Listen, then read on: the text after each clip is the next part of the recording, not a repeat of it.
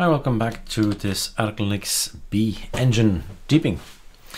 I have to look something up. Um, it's about VirtualBox and it's about the ISO of ArcoLinux XFCE OpenBox i3. So I'm gonna make a video about VirtualBox and VirtualBox is already installed. Oracle VM VirtualBox. How did I install it? We have on the github.com slash Erik Dubois, there is an ArcoLinux Nemesis. And in here, all these scripts are starting to run applications and particularly one that's in here, that's the VirtualBox. It all depends what you're on. So if you find out, hey, this is the way how to put a X software on my system, then you put everything in one long script and that's this one. This one is for the Linux long-term support. So when you do Control Alt T, you'll see here that this is the 4.20.12. This is not the long-term support. This is just the Linux kernel. You can also find it like this and start typing Linux and wait for it.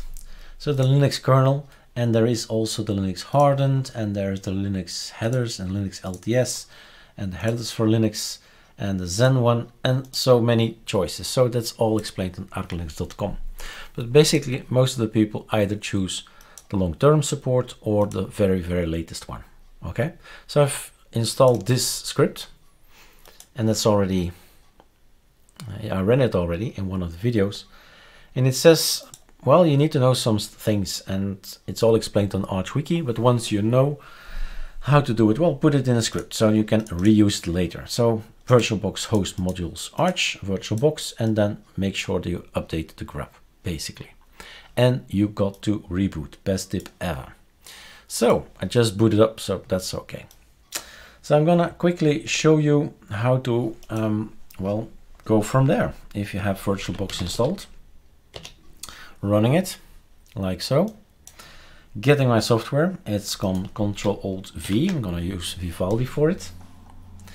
I am gonna close, however, all the other tabs, close other tabs, okay.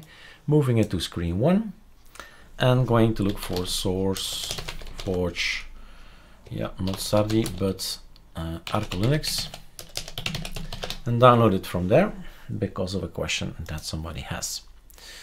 So files, accept files, ArcoLinux, there is this uh, very, very last one, and there's always information. There's something um, interesting to note that if you press on this I, you get the MD5. You can always check if that the, the thing that's online and the thing that you're getting, if they have the same MD5 sum. It's actually just a command in your terminal.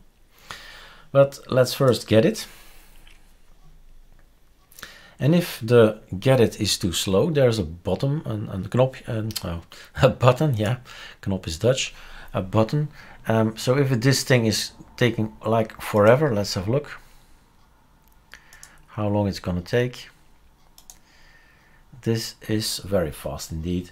31 megabytes per second, so it's super, super fast as always. ArcoLinux and SourceForge work well together. And but anyway, if there are issues, just take another one. Just take another, uh, well, country actually. So India is here, United States is here, so a lot of things, choices you can have. I, I just, oops, I did it like this. I'm downloading it again now. Remove, well, stop first and then remove. Go on.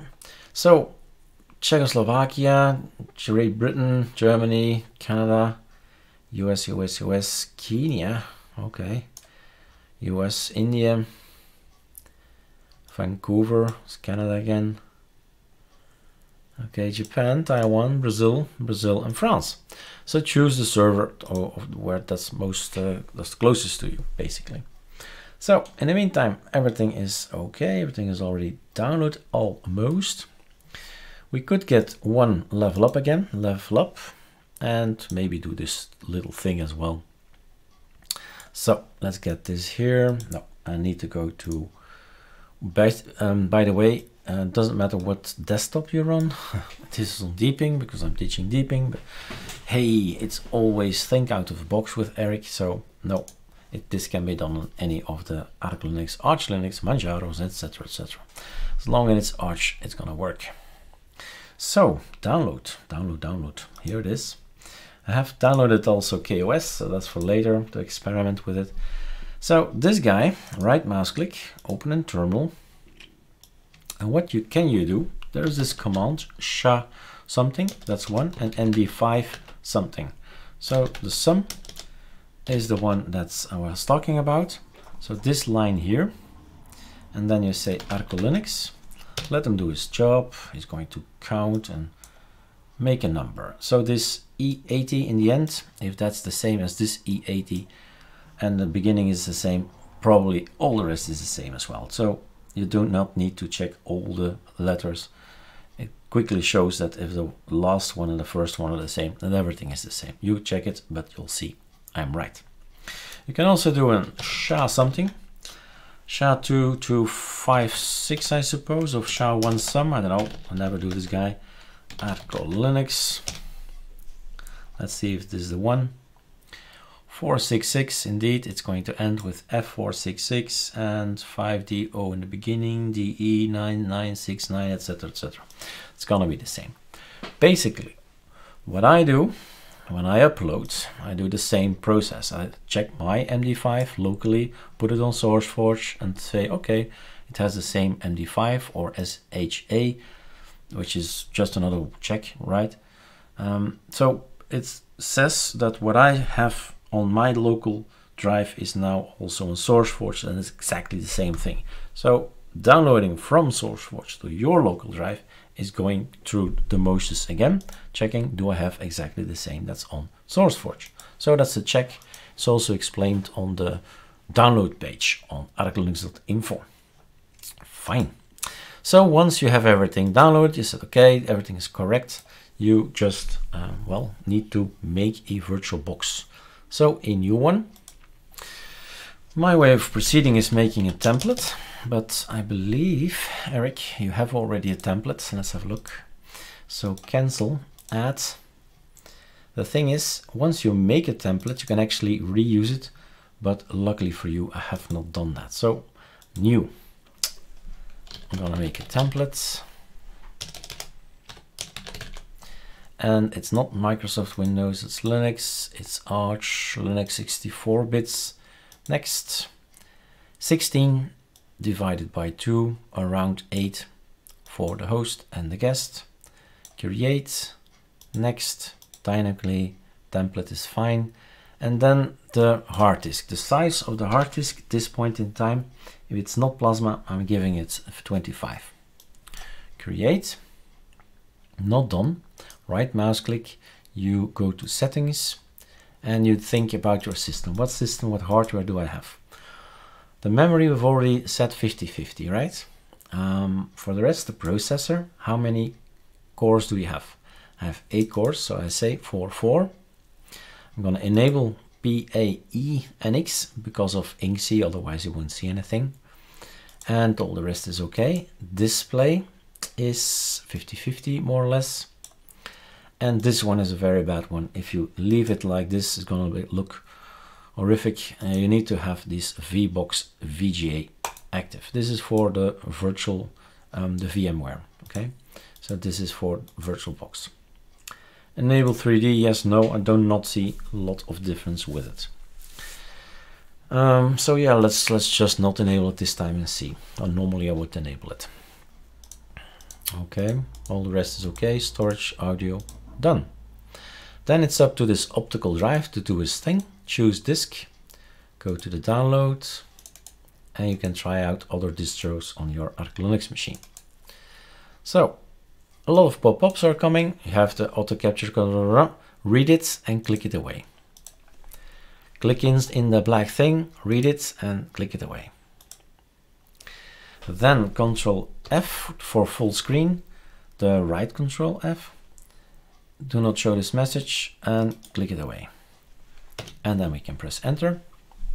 I think I'm gonna get another one. I thought there were four messages.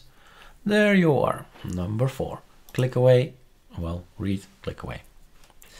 So Control F is the great button to get it full screen. the right control and then an F for full screen. It lets you toggle between a full screen A and a small screen with bars and all that. So we're going to load this one up.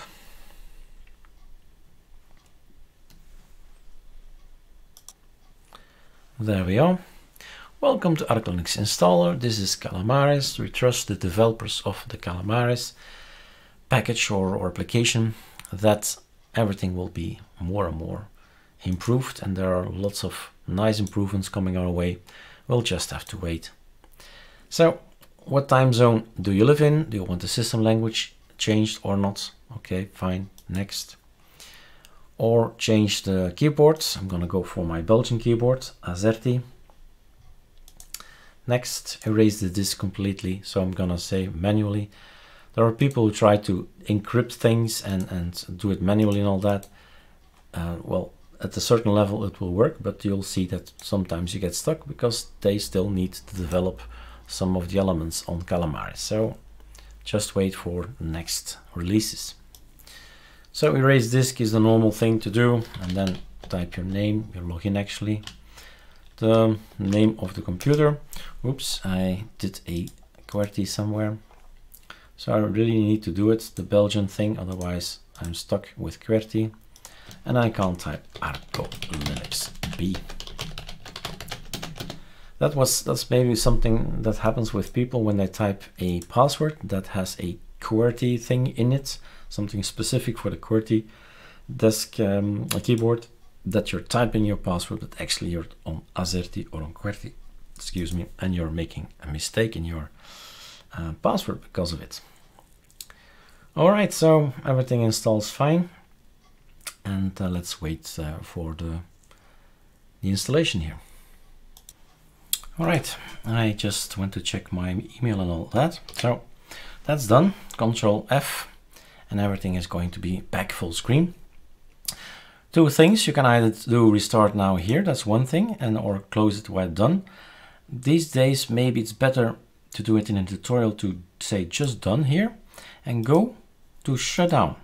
And there's a reason for it. Always educational guy, you know. There's a reason for it. If you close everything down, you can also say to the system, forget about this ISO that's in there. So you actually see the proper grub when you boot up and you do again a Control F everything becomes big. This is what you normally get on an SSD or hard disk or an NVMe these days. So we're booting up ArcoLinux. And since we have XFC OpenBox and i3, and I said to the system Calamares, hey, log me in with XFC, it works. Now, if you're on ArcoLinux B, do check out the pages on the ArcoLinux B website, because what you do need to change if you're on Cinnamon and all that, it's explained in so many videos and tutorials but let's include it here as well. You need to remember the word etc lightdm and there's lightdm.conf. Another tip in this video, plain text, put it on Perl, everything black is not used, everything white is used.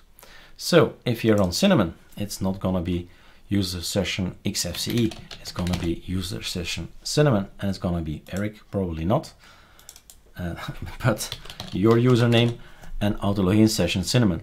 And that's that. Control S, save, and you're auto login in Cinnamon. I'm not gonna do that. I'm not gonna save either. So everything is okay like this.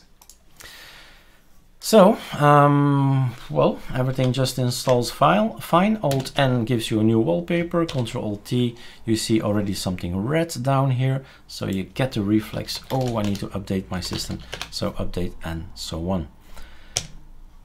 A lot of things, not ideal for the video, but then you just update. If you see something in here that has the word Arco Linux, and there are some stuff in Arco Linux, this guy is going to skel, this guy is going to skel, and he will say it when you download, well, when you install it, you'll see uh, the package will say, hey, I've written everything to etc skel. If you see that, you do a skel, which is going to copy paste everything from etc skel to your home directory.